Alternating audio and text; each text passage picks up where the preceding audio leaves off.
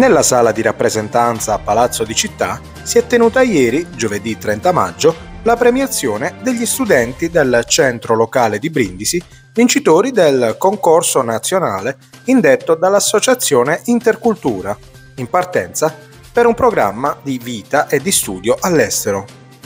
A fare i saluti istituzionali il consigliere comunale e provinciale Giuseppe Ventrella, che ha moderato gli interventi dei rappresentanti del centro locale di intercultura di Brindisi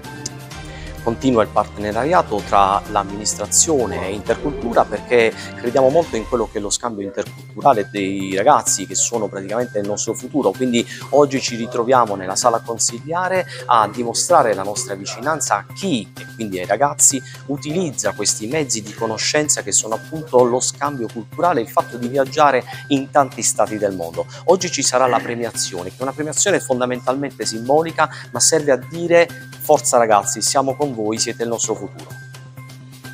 Allora, oggi con la nostra associazione Intercultura eh, siamo arrivati al termine del percorso. Oggi premieremo i ragazzi che hanno partecipato alla borsa di studio per il centro locale di Brindisi. Abbiamo sei ragazzi, eh, tre, due partono per un programma annuale in Thailandia e in uh, Brasile, mentre un'altra ragazza partirà per un trimestre in Canada. Invece abbiamo anche tre ragazzi che partiranno per un programma uh, estivo due andranno in Irlanda e uno in, in, una in Danimarca.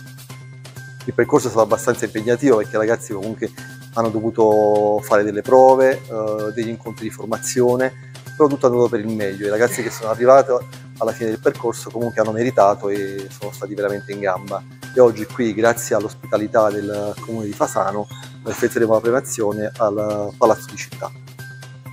Da quanti anni prosegue questa iniziativa? Allora, l'associazione Intercultura eh, diciamo, è un'associazione molto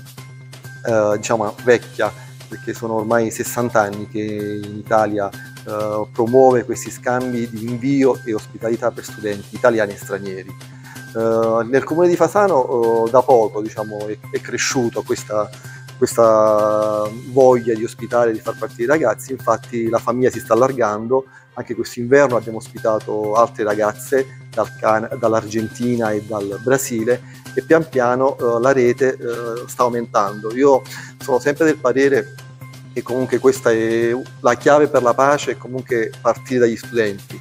dallo scambio interculturale, farli girare per il mondo, eh, nella speranza che in un futuro eh, quelli che tra loro diventeranno diciamo, i dirigenti del mondo si ricorderanno che hanno comunque viaggiato, hanno conosciuto altri posti, hanno vissuto altre esperienze con famiglie diverse e si sono resi conto che siamo tutti cittadini globali. Vogliamo spiegare ai nostri lettori come si fa a partecipare a, a questi scambi culturali. Se ah, sì, il, vuole il, percorso è molto facile ed è accessibile a tutti per quanto riguarda l'associazione intercultura, perché ci sono messe a, uh, ci sono a bando delle borse di studio, anche per coloro che non si possono permettere ovviamente di affrontare una spesa abbastanza onerosa, perché ovviamente anche per gli anni all'estero uh, i costi sono, sono alti. Uh, si partecipa iscrivendosi a settembre a questo programma che prevede diversi ovviamente pacchetti, ci sono i programmi semestrali, annuali, trimestrali e anche i programmi estivi. E poi il percorso non è che ti garantisce la partenza, eh, perché ovviamente eh, bisogna superare delle prove, bisogna avere dei voti eh, buoni a scuola e fe- fa fede anche poi quello che è il reddito per ambire alle borse di studio. Ovviamente ci sono anche diversi partner esterni che partecipano e danno dei contributi a intercultura come per esempio l'Impes stessa o alcune banche, alcune fondazioni, quindi si può anche accedere tramite borse di studio fornite da partners esterni.